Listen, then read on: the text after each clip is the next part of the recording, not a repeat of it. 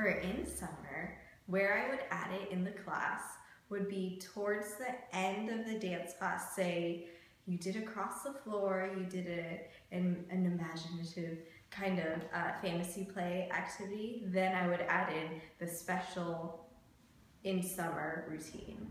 Depending the age, the younger kids, I don't really tell them we're learning a routine because then they would they would switch another, like they would switch off and maybe not pay attention. The older kids, you could talk about how, oh, remember we were practicing our shuffle steps or our marches around. We're gonna incorporate that in a dance.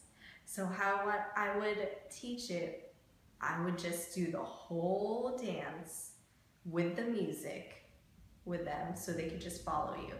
And if there are problem areas, that's when you would break it down as you would in learning a routine as an adult. yeah. Which is how. Which is how. tell us? Okay. For so, those who might not know. Okay. um, being repetition is always a good thing in all forms of learning.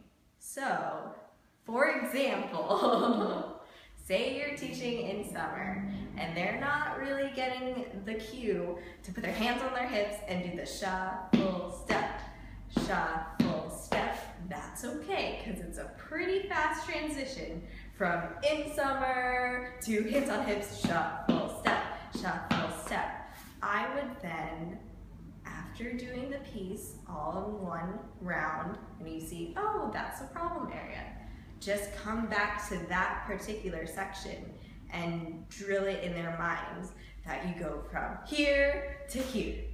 And you mm. might want to do that three times in summer and hands on hips. And it helps singing shuffle step, shuffle step. And you could say the steps out loud. It's no no harm saying the steps out loud when dancing, especially learning stuff, because that helps you remember. Those are the tips of the day.